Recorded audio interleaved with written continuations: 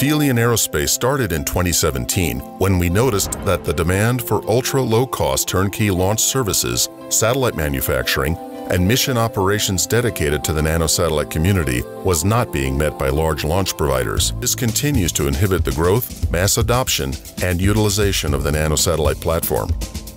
Our mission is to solve that problem.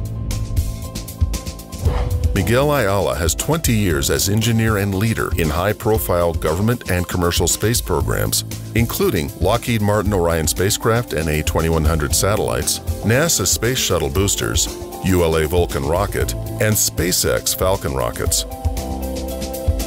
Matthew Travis is an engineer and entrepreneur with over 25 years in the aerospace, software, and technology development sectors. The original founder of Aphelion, he has previously contributed to a number of NASA and commercial spaceflight programs as well as nonprofit research projects. His experience spans hardware and software engineering, marketing, media, and corporate operations. Our belief is that simpler systems can provide the highest reliability and lowest price for access to space. This idea has been advocated before, but usually in terms of scaling up the size of the vehicle. For nanosatellites, we believe the answer lies in going the opposite direction and scaling down the vehicle massively.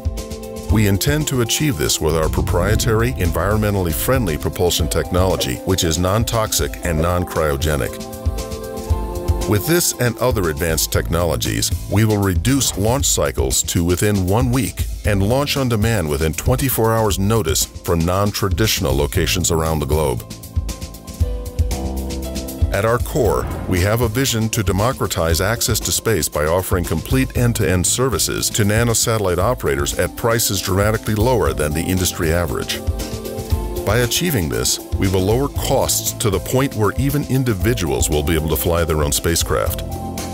In turn, we will open up space to a vastly greater number of users and drive the growth of new possibilities in exploration, technology development, and commerce, and make the 21st century truly the space age for everyone.